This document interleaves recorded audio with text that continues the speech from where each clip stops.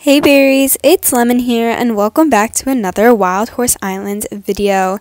Today I'll be showing you guys how to get the moon aura in Wild Horse Islands and here we have Midnight, my lovely um, blood moon um, thoroughbred. So I just thought it was fitting because, you know, it's a moon and it's a horse and we're getting the moon aura. So let's get right into the video. Okay, so the first thing that you're going to want to do is make sure that it is night. You cannot get the moon aura if it is not nighttime. So to know if it's night, it is um, either 9 o'clock p.m. or later, and it should say um, that it's a, and then your weather, and then night on the mainland, and then it'll also tell you your current moon phase. So, what you're going to want to do next after it is night is you're going to go ahead and talk to William, the boat captain, and head on over to Roleplay Island. So, you're going to want not to go to um, this um, dock on the horse shaped island over here, but you're going to want to hop onto the other dock because you can get to the place where you need to go much faster. Okay, so you should, if you went to the right dock, you should go, you should be at a place like this. And then what you are going to want to do is head on over this way to the mountain.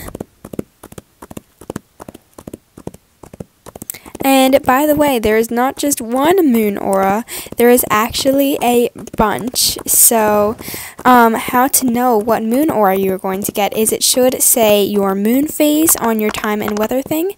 So, tonight is the new moon phase, so I will be getting the new moon aura. So, um, yeah, so that's neat.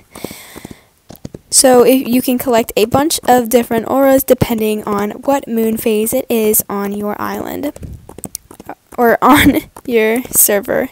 So right up here, I you should see some moons floating around at the top of this mountain. Here is where it is. Here is it on the map, right in this area right here. And then once you are there, you're just going to go ahead and go onto the top here and then you're going to click your horse emotes. So I'm going, and then you're going to scroll down and click dance. So once your horse dances on here, you can see that you get an aura or aura. I'm still not really sure how to say that word. um, show off your favorite phase of the moon with this aura for your horse. So I got the new moon phase. It is a secret item and you just gotta go up here on this mountain and dance when it is nighttime. You cannot get the same aura, aura more than once. Um, but you can get a bunch of different moon phases. So I'm going to go ahead and try that on here. Let's see if I can find it. There we go. Make my horse stop dancing. There you go. And this aura is different from the other ones. It doesn't like bubble around your horse.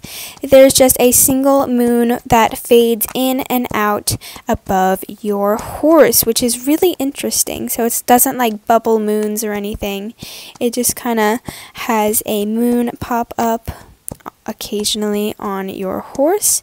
So yeah, that is what the secret aura um, looks like. I hope that you guys are able to obtain it and collect all of the different moon phases here in uh, moon phase auras in Wild Horse Islands. I hope that this tutorial helped you guys and I will see you all in the next one or hopefully. Thank you guys so much for watching this video. Bye berries.